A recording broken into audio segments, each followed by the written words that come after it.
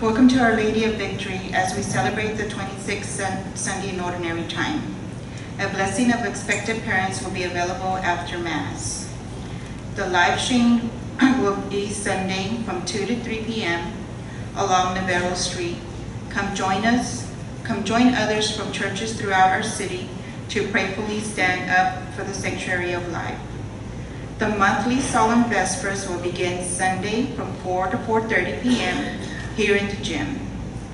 There will be an 8 o'clock a.m. Mass on Wednesday, October 4th, and celebration of St. Francis Feast Day and a Blessing of the Pets at 3 p.m., located on the school playground behind the gym. Our parish festival will be at the community center next Sunday. Please note that the plates to go line will be different this year.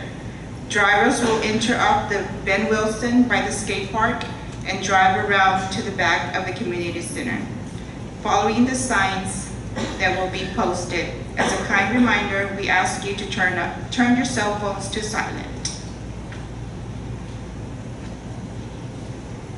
Processional hymn is number 227, O Breath on Me, O Breath of God, 227.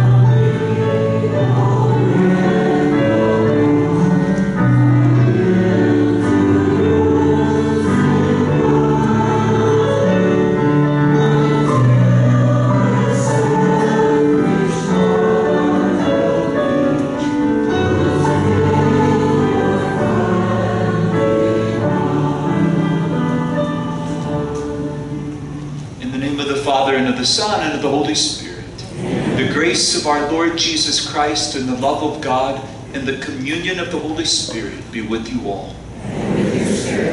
I'm joined today, celebrating this Mass, with Father Justin Gillespie. He's joining some of his classmates here uh, in Victoria. They're all alumni, graduates of St. Joseph High School, so they're here for a reunion. Father Justin has been a priest for 10 years. He is an Opus Dei priest, head of Opus Dei in Ireland, so he's in Dublin right now. Imagine someone from Texas, a priest, going to Dublin. Things change, don't they? We're always grateful in Texas for all the priests that came to us from Ireland.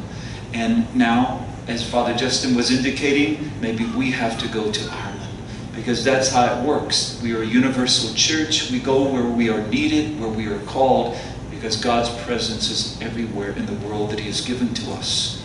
We rejoice this day as a people of faith.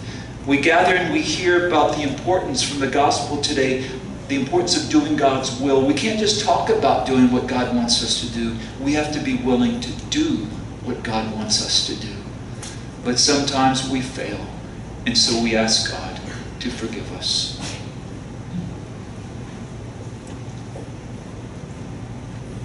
I confess to Almighty God and to you, my brothers and sisters, that I have greatly sinned in my thoughts and in my words, in what I have done and in what I have failed to do.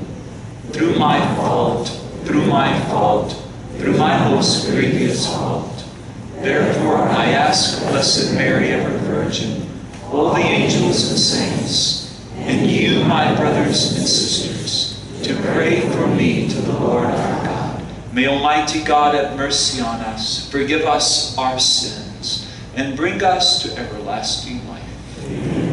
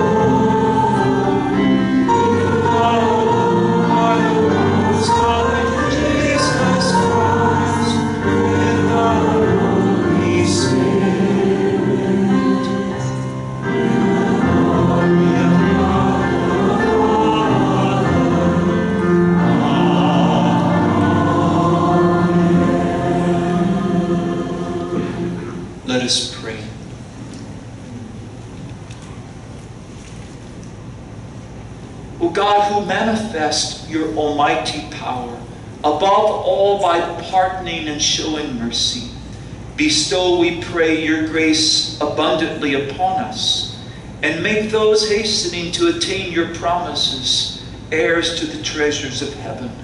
Through our Lord Jesus Christ, your Son, who lives and reigns with you in the unity of the Holy Spirit, one God, forever and ever.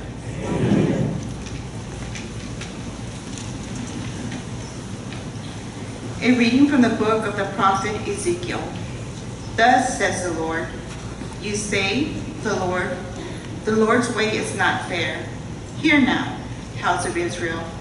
It is my way that is unfair, or rather, are not your ways unfair? When someone's virtuous turns away from virtue to commit iniquity and dies, it is because the iniquity he committed that he must die. But if he turns from the wickedness he has committed and does what is right and just, he shall preserve his life. Since he has turned away from all the sins that he has committed, he shall surely live. He shall not die. The word of the Lord. Thanks be to God.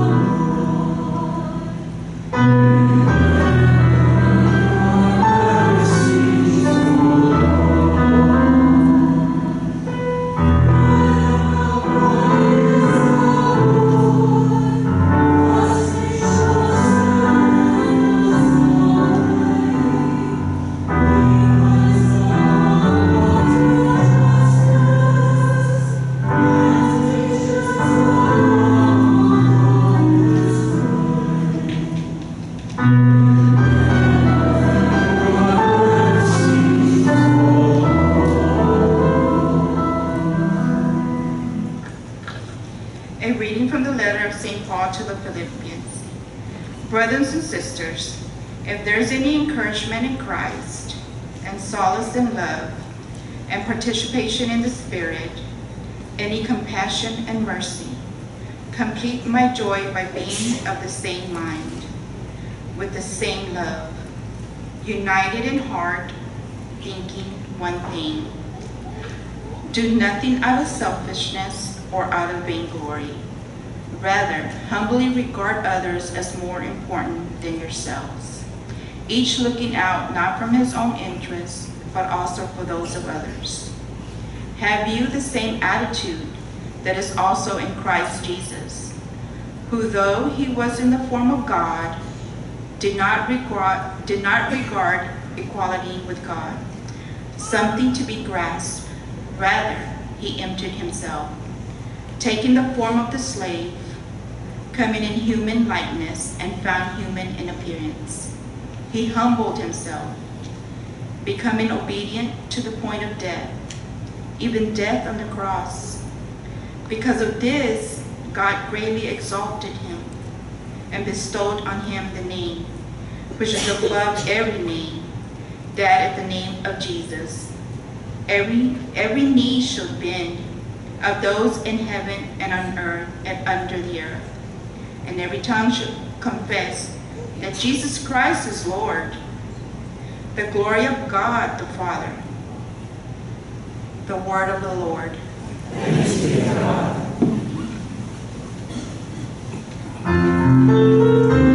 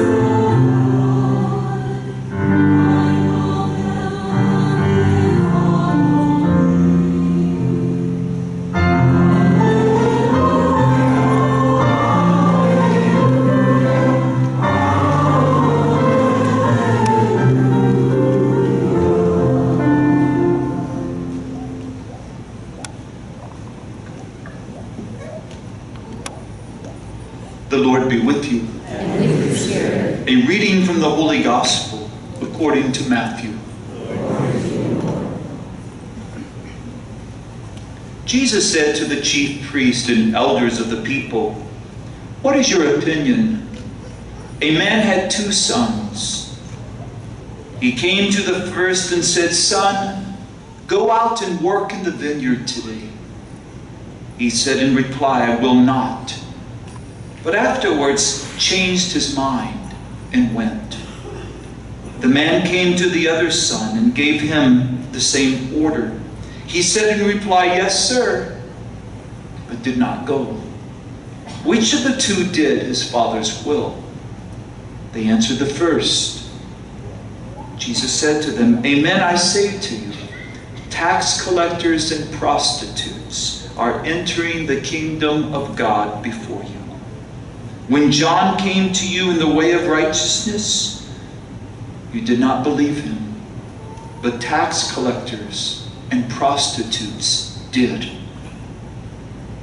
Yet even when you saw that, you did not later change your minds and believe him. The Gospel of the Lord. Lord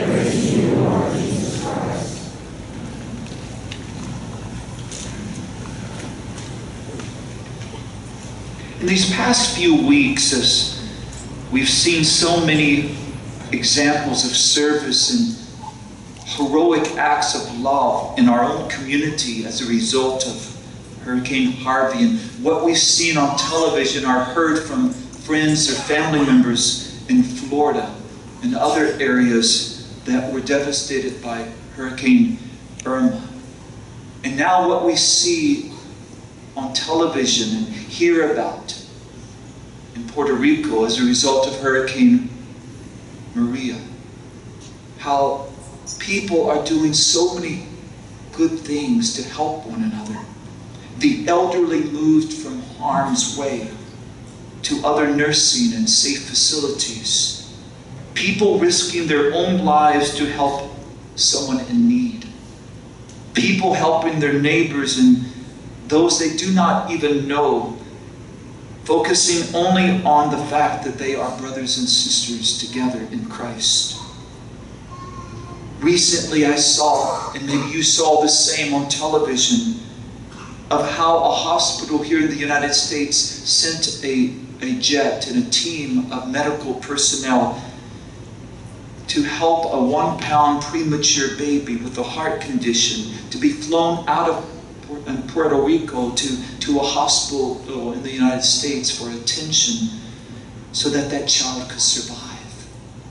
That entire team, they, they carried that little bitty child of God so closely and so carefully. And how everyone was so excited when the plane took off from Puerto Rico to safety. Just a few examples of how much we respect life. And as we celebrate tomorrow, Respect Life Sunday, we ask ourselves this question that if we do that for the living, why would we not also do that for the living that is yet to be born? To show that same kind of respect and that same kind of love. But we know, as we celebrate Respect Life Sunday, that we still have a long way to go to ensure that everyone, every being, has a right to life, the born and the unborn, that all of God's children will receive the same gift that we have received, the same opportunity that we have received, the same chance to live. So much work has been done, and there is so much work yet to do. It's about changing first and foremost our attitude and our very heart. To embrace the truth that all life is precious from the moment of conception until natural death. That we can never play God. God is God. God is the giver of all life. God is the creator, and we are the created. And we cannot exchange roles. We cannot pretend that we can exchange roles. In respecting life, we respect God, the creator. We recall that the core of our faith is found in that willingness to embrace life, that precious gift of our Father. Because when we respect life, we respect one another in a deeper way. When we can protect the unborn, then we're going to do a lot better at protecting the born as well. Yes, we have great heroic examples of faith. So many people that have done so much in these past few weeks with so much devastation have gone out of their way to help others. And we have to make sure that we keep helping the unborn as well. And so we know that the core of our faith, as we hear in our scripture readings today, that the core of our faith begins with doing the will of the Father. These scripture readings remind us of this truth. And so Jesus shares a parable with us about a man who has two sons. The father requested that both sons go into his vineyard. One refused, but later went. The other son agreed to do so, but never did go into the vineyard. And so Jesus proposes a question to the chief priest and the elders. And Jesus proposes this question to us at this very moment. Which of the two did the Father's will? We would answer like the chief priest and the elders of the people would answer. Obviously, the first one, because he went. He was reluctant. He first said no, but he did go. In turn, Jesus challenged them and Jesus challenges us. By stating, Amen, I say to you, tax collectors and prostitutes are entering the kingdom of God before you. When John came to you in the way of righteousness, you did not believe him, but tax collectors and prostitutes did. Yet even when you saw that, you did not later change your minds and believe him. Our faith isn't about words, it's about action. Jesus didn't talk about God, Jesus showed us God. He is God, and He showed us how we can be one with Him in heaven by being one with Him here on earth. Jesus shows us that when we do the will of the Father, that we will receive the gift of eternal life. That when we seek to do as Jesus has done, by showing us how to do that will, by agreeing that it's not just what I want, but what God wants for us. That when we can trust God in that kind of way, we deepen our faith. We find ourselves more filled with joy and peace. When we say, Lord, I surrender to your will, and if you want me to go into the vineyard, I will go into the vineyard. We may not be happy about it. We may question if we have the gifts to do it or if we have the energy to do it, but we can do it. Because Jesus says when we do the will of the Father, He will give us, through His Holy Spirit, He will give us the grace to accomplish it.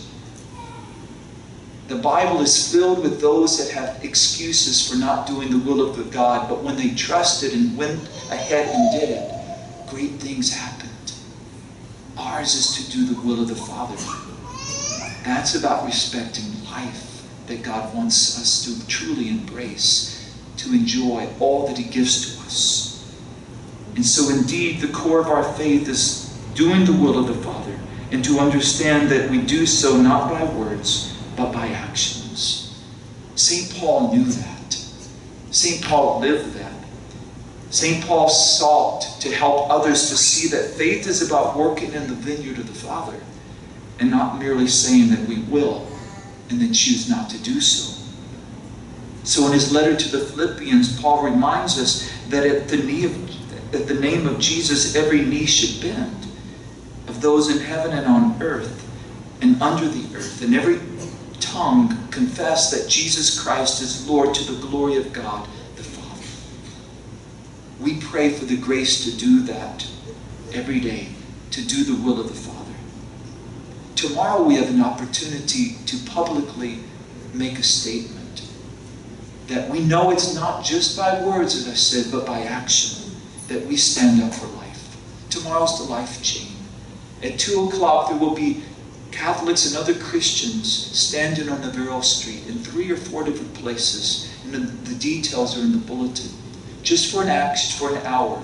And the action that we exemplify is not by words because we don't say anything. We're not protesting. We are standing in silent prayer some choose to hold a sign that says choose life, or other wording that respects the understanding of life itself. And we just stand in that hour of silent prayer. And I'm always fascinated by how many cars that pass by on the Navarro Street and they honk their horns in support. But some make very crude comments. Some make horrible gestures to us who stand there. But that can't dissuade us. That can't stifle the Spirit of Jesus Christ. They can make their gestures and they can say their negative words. But we stand in silent prayer. And in that life chain, with our brothers and sisters throughout the United States and Canada, we make a statement. We make a statement that we seek to work in the vineyard of the Father. That we seek in our own unworthiness, in our own sinfulness, in our own need for, for the mercy of God, we stand for life. We stand as a people knowing sometimes we don't always respect life and the choices we make, but we stand up for the truth that all have a right to life. So that all of us can have a chance to do the will of the Father, to work in the vineyard of our loving God. And so let us continue to make those kinds of statements every day to truly see that at the name of Jesus, every knee must bend. It shouldn't have to take a hurricane or disaster of some type or a tragedy in our lives to remind us of our call to respect life, to treat each other with the respect that we should as brothers and sisters in Christ. But sometimes it does. And so we take this opportunity to say, Father, we seek to embrace the cross of your Son, Jesus. We seek to do the will of the Father. We seek to follow your example in making sure that all have a right to life and that when born, all will be respected in life until we are with you forever in heaven, that great vineyard that we await. Let us pray that we will be examples in that kind.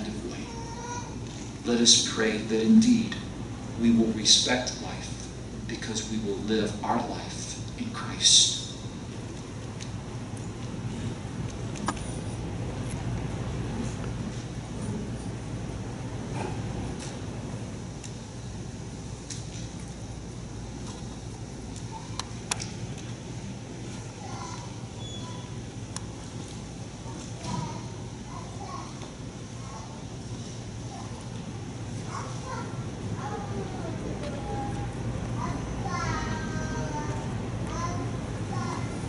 In faith, let us profess what we believe.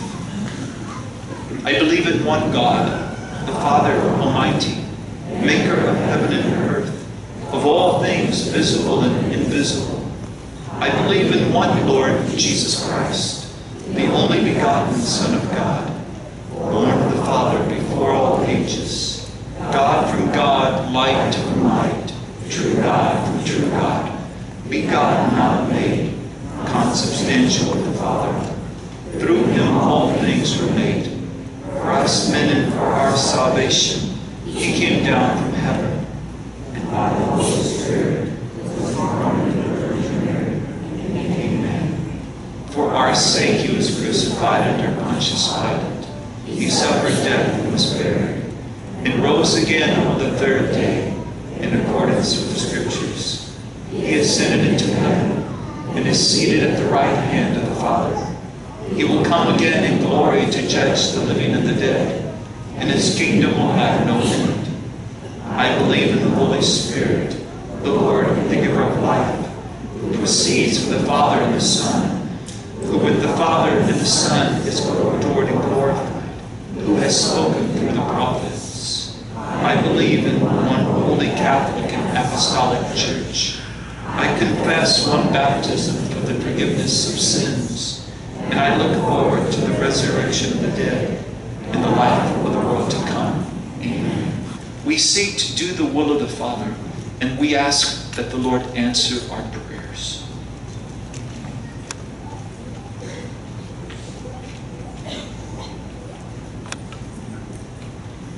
For our church, may we come to know what it means to empty ourselves and give witness to Christ, love through our actions. We pray to the Lord. Lord, hear our prayer. For leaders of all nations, may they learn from the humble ex- example of Christ to put the needs of their people ahead of their personal desires and ambitions. We pray to the Lord. Lord, hear our prayer. For young people who turn away or run away, may we always welcome them back with loving arms, supporting them in their questioning and in their struggles. We pray to the Lord. Lord, hear our prayer. For those who are discerning their life's path, may they find sure direction through prayer and attention to God's call. We pray to the Lord. Lord, hear our prayer. For a growing respect for all life, may it be protected from conception to natural death in our country and around the world. We pray to the Lord. Lord, hear our prayer. For all the faithful departed and for the repose of the soul of Stanley Garcia, for whom this Mass is offered, we pray to the Lord. Lord, hear our prayer. For the needs listed in our parish intention book, and for those we hold in our silence of our hearts,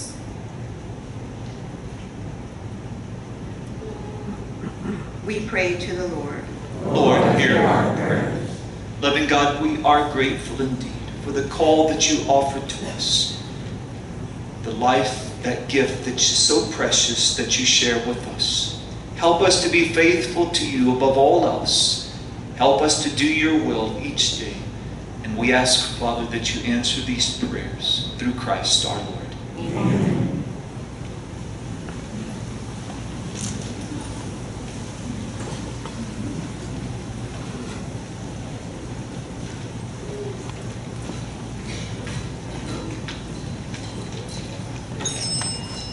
The hymn for the presentations of the gifts is number 305, the summons 305.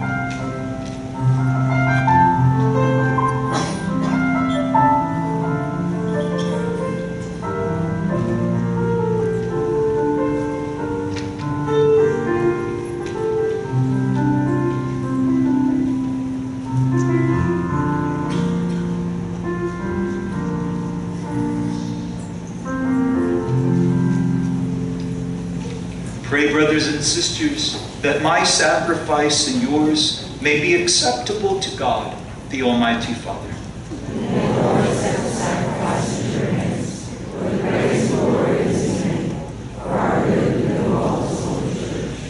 Grant us, O merciful God, that this our offering may find acceptance with you, and that through it the wellspring of all blessing may be laid open before us through Christ our Lord. The Lord be with you. With Lift up your hearts. Let us give thanks to the Lord our God. It is truly right and just, our duty and our salvation, always and everywhere to give you thanks, Lord, Holy Father, Almighty and eternal God. For you so loved the world that in your mercy you sent us the Redeemer, to live like us in all things but sin, so that you might love in us what you loved in your Son, by whose obedience we have been restored to those gifts of yours, that by sinning we had lost in disobedience. And so, Lord, with all the angels and saints, we too give you thanks. As an exaltation, we acclaim.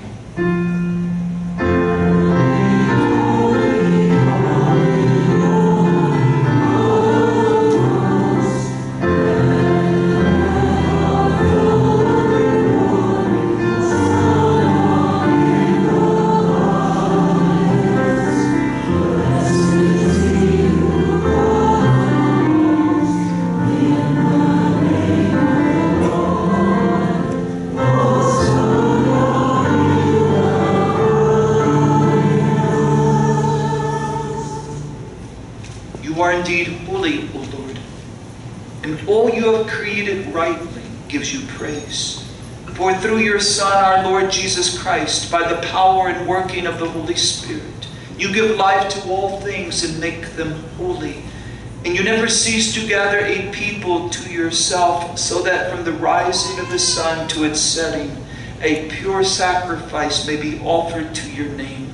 Therefore, O Lord, we humbly implore you, by the same Spirit, graciously make holy these gifts we have brought to you for consecration, that they may become the body and blood of your Son, our Lord Jesus Christ, at whose command we celebrate these mysteries.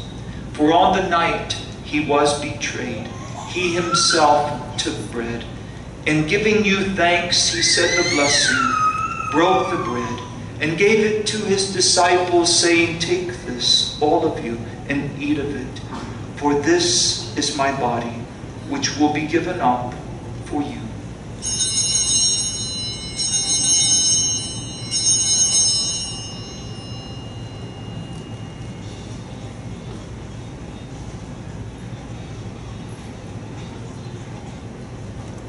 In a similar way, when supper was ended, he took the chalice, and giving you thanks, he said the blessing, and gave the chalice to his disciples, saying, Take this, all of you, and drink. For this is the chalice of my blood, the blood of the new and eternal covenant, which will be poured out for you and for many for the forgiveness of sins. Do this in memory of me.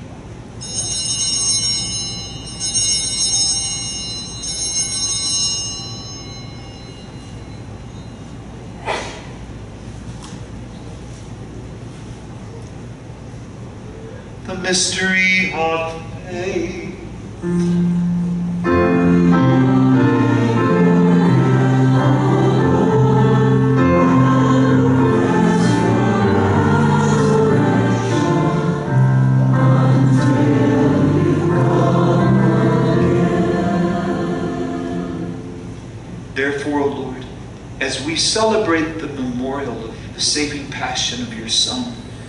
Wondrous resurrection and ascension into heaven. And as we look forward to his second coming, we offer you in thanksgiving this holy living sacrifice. Look, we pray, upon the oblation of your church, and recognizing the sacrificial victim by whose death you will to reconcile us to yourself. Grant that we who are nourished by the body and blood of your Son and filled with His Holy Spirit, may become one body, one spirit in Christ. May he make of us an eternal offering to you, so that we may obtain an inheritance with your elect, especially with the most blessed Virgin Mary, Mother of God, with blessed Joseph, her spouse, and with your blessed apostles and glorious martyrs, and with all the saints on whose constant intercession in your presence we rely for unfailing help. May this sacrifice of our reconciliation, we pray, O Lord, advance the peace and salvation of all the world. Be pleased to confirm in faith and charity your pilgrim church on earth, with your servant Francis, our Pope, Brendan, our Bishop, the order of bishops, all the clergy, and the entire people you have gained for your own. Listen graciously to the prayers of this family, who you've been summoned before you. In your compassion, O merciful Father, gather to yourself all your children scattered throughout the world. To our departed brothers and sisters, and to all who are pleasing to you at their passing from this life, give kind admittance to your kingdom. There we hope to enjoy forever the fullness of your glory, through Christ our Lord, through whom you bestow on the world all that is good.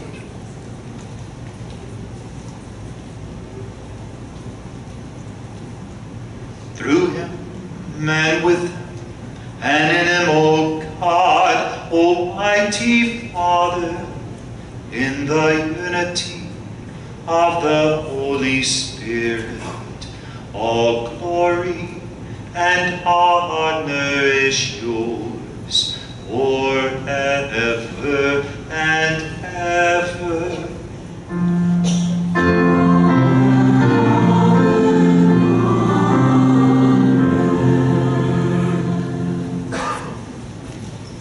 The Savior's command, informed by divine teaching, we dare to say, Our Father, who art in heaven, hallowed be thy name. Thy kingdom come, thy will be done, on earth as it is in heaven. Give us this day our daily bread, and forgive us our trespasses, as we forgive those who trespass against us. And lead us not into temptation, but deliver us from evil. Deliver us, Lord, we pray, from every evil.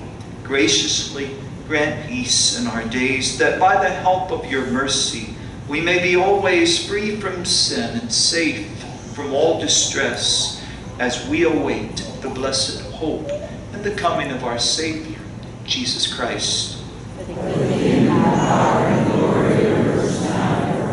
Lord Jesus Christ, who said to your apostles, Peace I leave you, my peace I give you. Look not on our sins, but on the faith of your church, and graciously grant her peace and unity in accordance with your will, who live and reign forever and ever. Amen. Peace of the Lord be with you always. Let us offer each other the sign of peace.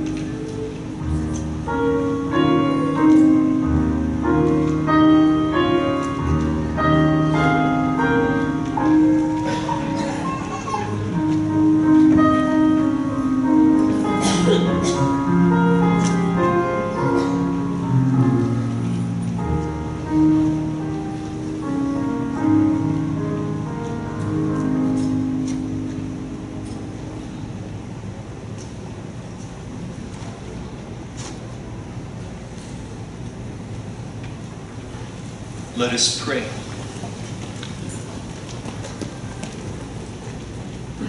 May this heavenly mystery, O Lord, restore us in mind and body, that we may be co heirs in glory with Christ, to whose suffering we are united whenever we proclaim his death, who lives and reigns forever and ever. Amen. Again, it was so good to have Father Justin with us.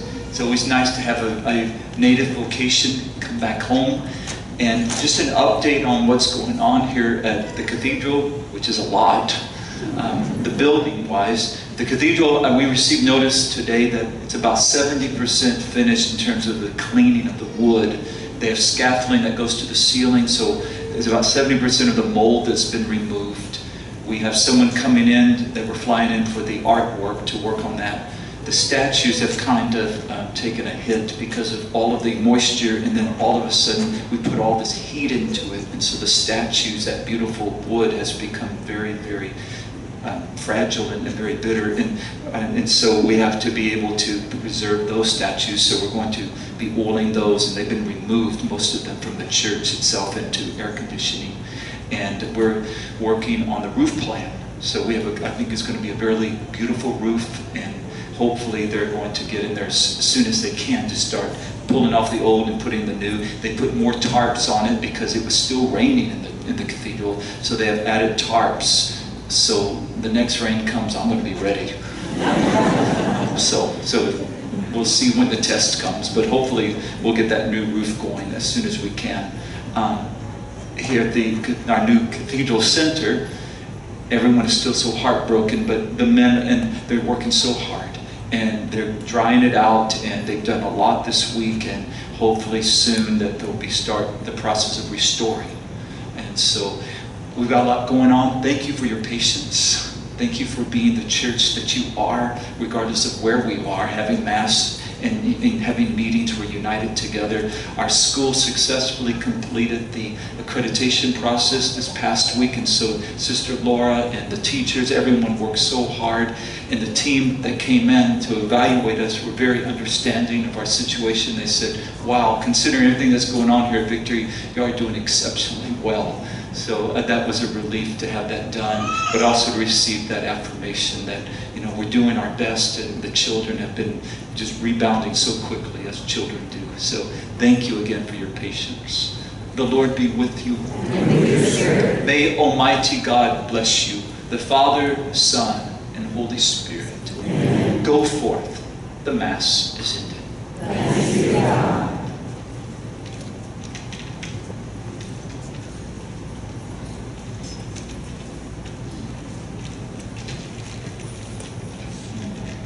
Our recessional hymn is number 209, Immaculate Mary 209.